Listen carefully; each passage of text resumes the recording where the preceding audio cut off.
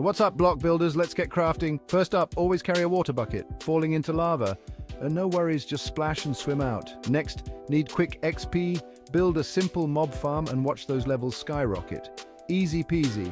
Oh, and don't forget to trade with villagers. They've got the goods and you've got the emeralds. It's a win-win.